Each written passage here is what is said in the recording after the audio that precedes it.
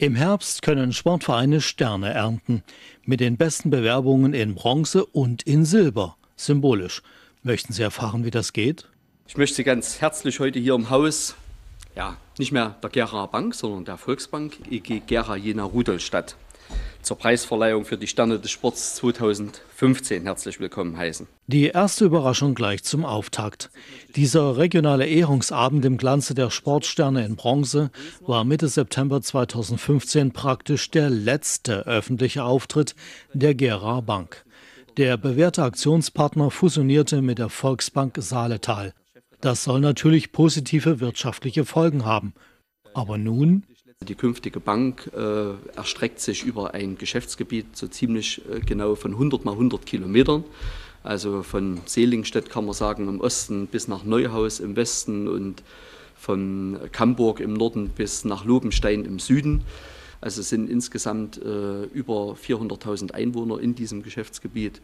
Und wir sehen uns da schon als genossenschaftliches Kreditinstitut auch äh, weiterhin stark in der Verantwortung. Wir haben insgesamt 29, also knapp 30 Bewerbungen gehabt.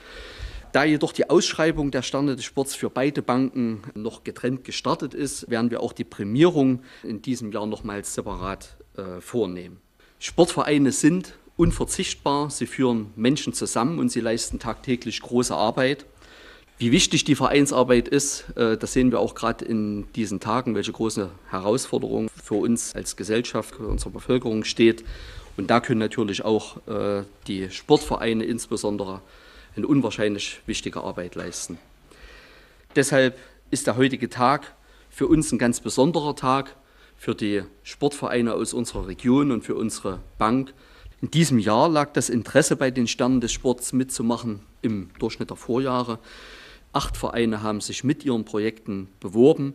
Die einreichenden Vereine haben sich sehr große ja, äh, Arbeit und Mühe mit diesen Bewerbungen gemacht. Äh, jeder, äh, der auch irgendwo was schreibt oder was dokumentiert oder Pressearbeit macht in den Vereinen, der weiß das sehr gut, wie schwer das oftmals in Vereinen fällt, das aufzuschreiben, was im Ehrenamt äh, eigentlich so tagtäglich geleistet wird. Es gibt unendlich viele Medaillen, Trophäen, Siegerurkunden, Meisterehrungen.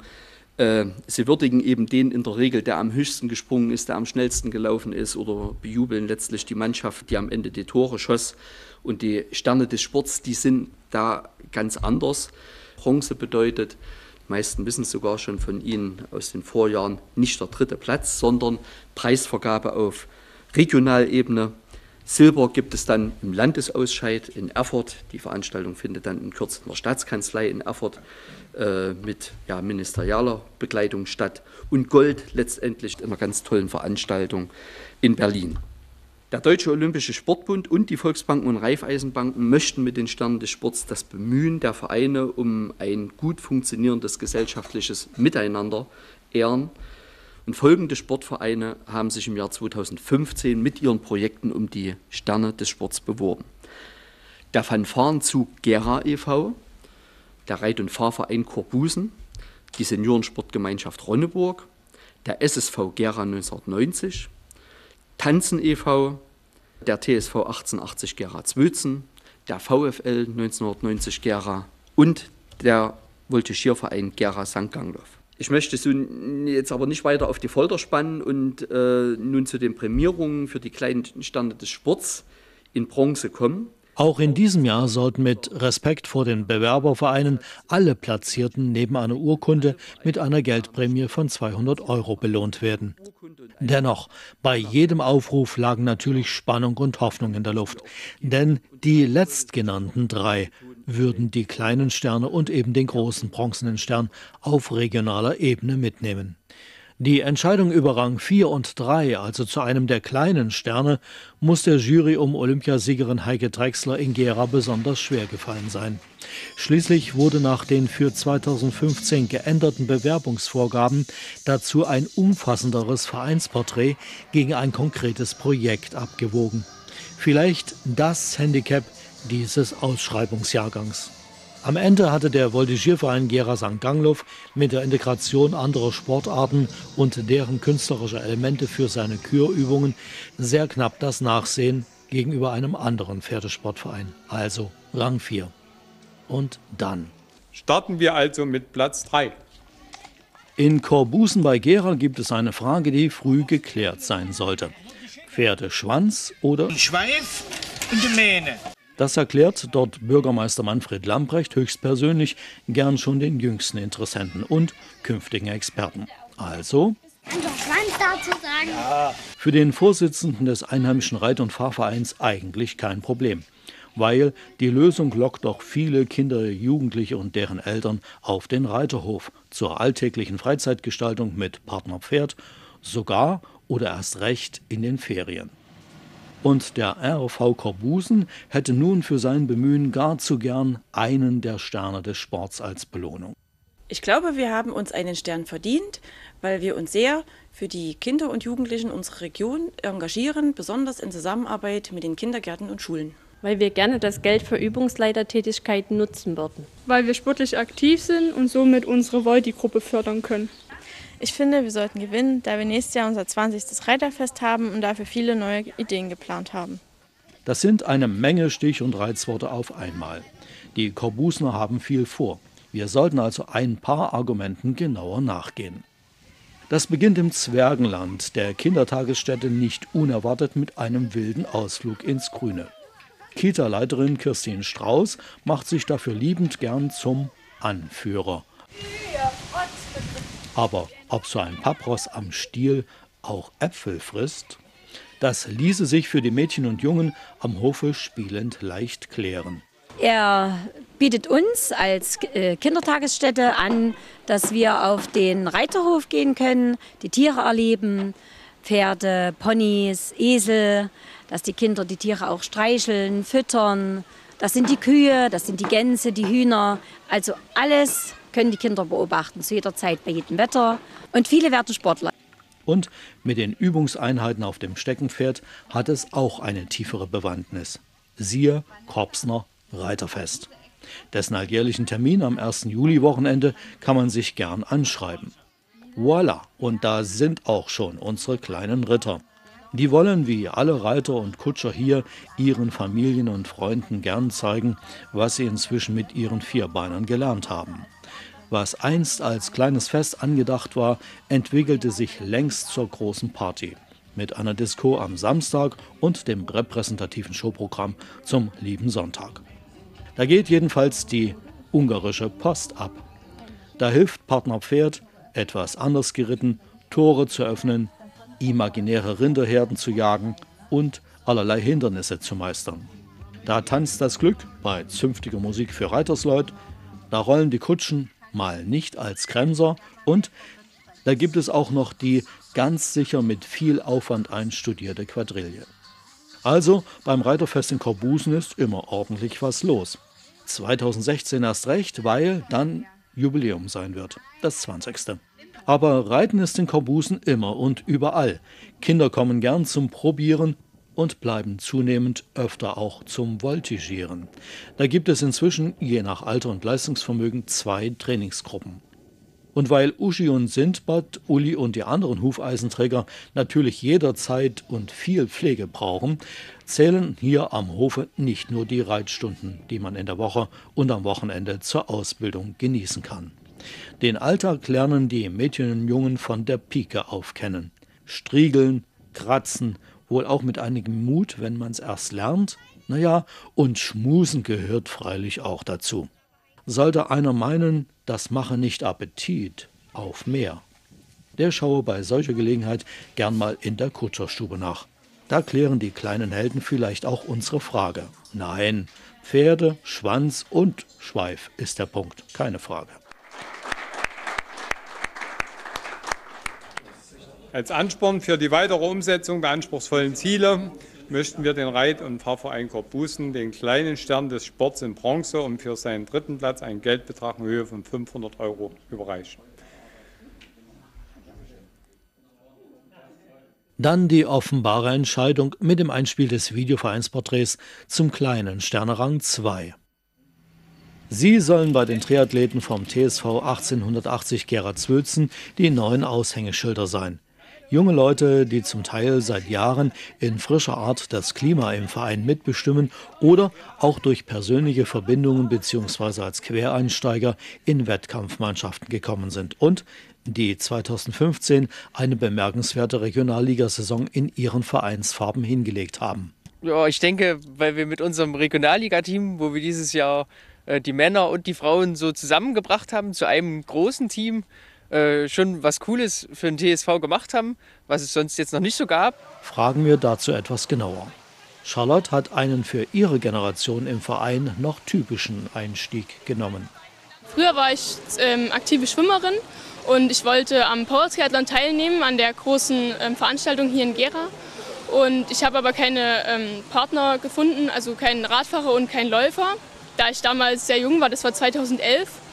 Und da habe ich mich dann kurzerhand entschlossen, selber mal zu starten und es hat mir dann noch ziemlich gut gefallen.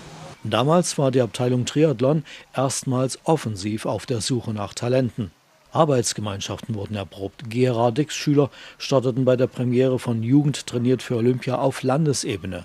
Überraschend viele fanden den Weg zum Traditionsverein mit seiner gerade neu strukturierten Sparte.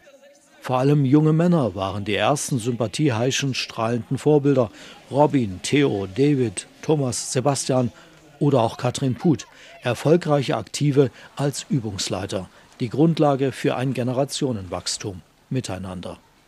Mittlerweile wächst die nächste Generation an Übungsleitern und Trainern heran. Ich freue mich da immer, wenn ich äh, Jugendliche, die ich in meiner Trainingsgruppe hatte, jetzt äh, sehe, wie sie selbst ihr Wissen weitergeben an noch Jüngere. Und das äh, ist einfach super. Ja, sicherlich. Das äh, macht dann halt auch in gewissermaßen stolz, wenn man dann jetzt sieht, ja, in der Zeit, wo man sie trainiert hat, haben sie dann das und das gelernt. Und das ist schon ein schönes Gefühl. Ja, die aus der ersten eigenen Nachwuchstruppe sind nun Aufgewachsene und suchen in ihrer Entwicklung mit Ehrgeiz nach neuen Aufgaben oder Bewährungsproben. Damit setzte wohl eine Neuorientierung der TSV Triathlon Philosophie ein. Weil wir äh, bei den Triathleten durch die beiden Regionalligateams Männer und Frauen den jungen und jugendlichen Sportlern im Verein eine Perspektive geben, dass sie weiter beim Sport im Triathlon bleiben können. Weil die Besonderheit bei uns ist, dass sowohl ältere Hobbysportler als auch junge Weltmeister bei uns gemeinsam trainieren.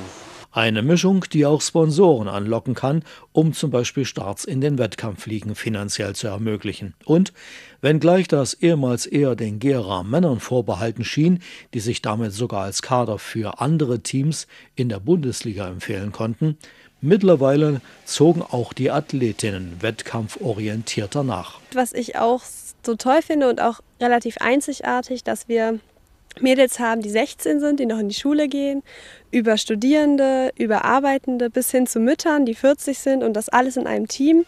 Wir können uns gut präsentieren, nicht nur beim Power Triathlon. Für das laufende Jahr möchte man sogar sagen, vom Saisoneinstieg vor heimischer Kulisse bis zum Ligafinale. Kein Wunder, dass so auch das Selbstbewusstsein gewachsen scheint. Womit glaubst du, dass die Triathleten so einen Stern des Sports verdient haben könnten? Ich denke, dass wir Triathleten den auf jeden Fall dieses Jahr verdient haben könnten, weil wir ähm, durch unsere Präsenz nach außen auch für die Stadt Gera viel geleistet haben. Die Männer beschlossen die Regionalliga Ost 2015 auf Rang 4. Das Frauenteam hat sich als Tagesfünfter noch punktgleich mit dem HSV Weimar auf Rang 6 im Mittelfeld etabliert. Blickrichtung nach oben. Ja, wir möchten den TSV 1880 Gera Zwölzen e.V. für das Projekt Triathlon für die Region, zwei starke Teams für Gera, den kleinen Stern des Sports in Bronze überreichen. Verbunden damit ist ein Geldbetrag in Höhe von 1000 Euro und eine Urkunde. Herzlichen Glückwunsch. Damit wartete ja nur noch ein Kandidatenverein auf Mini-Porträt und Preise. Kids sind die Kinder von heute und das Future Team eine Mannschaft, der sich größere Perspektiven öffnen sollen. Soweit sind die Gruppennamen beim SSV Gera 1990 schon ziemlich up-to-date heutig. Und dennoch, Mann und Frau Trainer kennen da gute Gründe, sich für künftige Erfolge sowohl auf vielseitige neue Ideen, auf Vorbild und Anziehungskraft aktueller Stars, als auch auf so manche starke Tradition zu berufen. Da gibt es also auch schon für kleine Renner aufwendig top organisierte Rundfahrten von nationaler und sogar internationaler Akzeptanz mit fast 300 Startern, bei denen sich die SSVer mit dem Nachwuchs namhafter Vereine messen können. Im jüngsten Bereich ist das der Kids Cup für Laufradstrampler und Hobbyminis. Für die etwas älteren lizenzierten Renner hier die nun auch schon 13. Ostthüringen-Tour. Beide werden gemeinsam alljährlich auf Straßen Ostthüringer Städte ausgetragen. 286 Grundschuljungs und Mädels probierten 2015 mit Spaß und Freude zum zehnten Male auf der Radrennbahn im Martinsgrund und kämpften miteinander um den Olaf-Ludwig-Pokal. So wie ihn Schulamt und SSV Gera im Verein mit dem einstigen Olympiasieger, Friedensfahrtkönig und Tour de France-Etappengewinner als Sportpaten ins Leben riefen. Ja, jeder hat mal angefangen und äh, ich freue mich natürlich, dass die Teilnehmerzahlen immer besser werden. Wir haben zwar heute nicht das allerbeste Wetter, aber ich glaube, wir haben einen neuen Teilnehmerrekord und es ist erstmal egal, mit welchem Fahrrad es ist überhaupt äh, gut, dass man sich auf dem Fahrrad bewegt oder dass man sich überhaupt bewegt und da freue ich mich drüber. Und wohin schrieb der nicht schon alles Autogramme? Talentsichtung heute auch. Gut, die richtigen Talente gibt es wirklich ganz, ganz wenige, aber von äh, jedem Zehnten, der hier fährt, ist einer dabei, wo du sagst, okay, ähm, der hat Talent oder bringt erstmal Potenzial mit. Wenn ich auch hier die Kids sehe und denen ins Gesicht schaue und auch drüben an den Stationen mit bin, die haben alle viel Freude, viel Spaß. Und da ist die riesen ähm, Schulsichtungsmaßnahme des Olaf-Ludwig-Pokal ist äh, Tradition und ich bin sehr, sehr froh und auch ähm, stolz, dass, äh, dass ein Gera hier auch noch ist. Gefragt ist aber zunächst erst einmal, Mut zum Ausprobieren, allgemeine Geschicklichkeit und natürlicher Ehrgeiz im Wettstreit für die Einzelwertung und den Mannschaftswettbewerb der Gera-Schulen untereinander. Mancher kennt sich auch schon ein bisschen besser aus auf der Radrennbahn, weil er ja vielleicht bereits in einer der fünf vom Verein geleiteten Schul-AGs geschnuppert hat.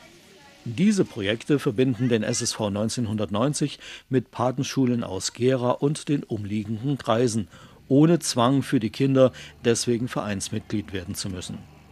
Doch noch einmal zurück ins Frühjahr 2015 und zur Gründung des Future Teams.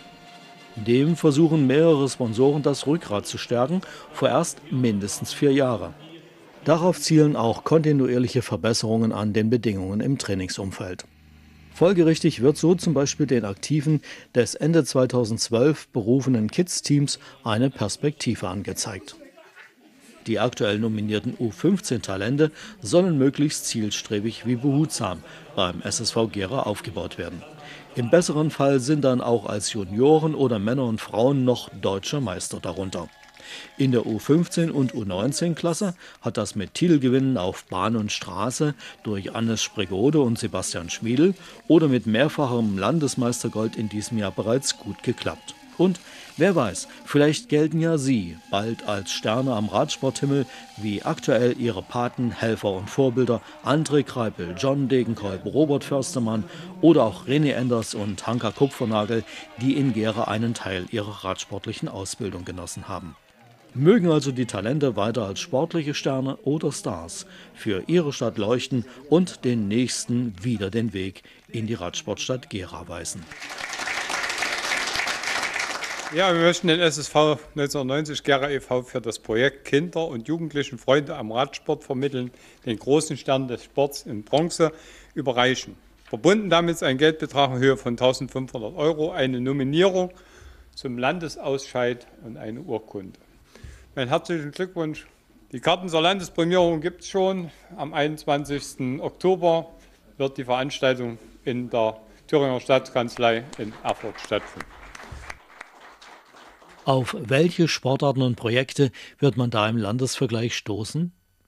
Und war es das dann für die unterlegenen Sternebewerber? Äh, sie haben schon viel Vorarbeit geleistet, äh, indem Sie die Unterlagen nach den acht Kriterien aufgearbeitet haben und so weiter. Äh, bitte lassen Sie die Arbeit auch nicht für umsonst gewesen sein. Ich möchte Sie ermutigen, bewerben Sie sich im nächsten Durchgang der Sterne des Sports wieder mit. Äh, Sie sehen es auch im letzten Jahr am zweiten Platz. In diesem Jahr hat es geklappt äh, zu dem Sieg äh, und zur Teilnahme dann bei dem Ausscheid auf Landesebene. Im April wird also die Ausschreibung für die nächste Runde erfolgen. Also bitte nehmen Sie auch alle wieder mit teil und sichern Sie sich zumindest diese Chance.